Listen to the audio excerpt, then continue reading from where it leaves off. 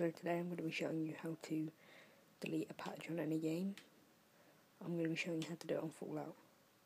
So what you want to do first is go to your notifications, go to your downloads, and you find the version. You go to it, you press delete. I'm not going to do it because I've already done it. So you press delete on there, and you want to make sure the game's closed for this. Then you want to hit, you want to go onto here.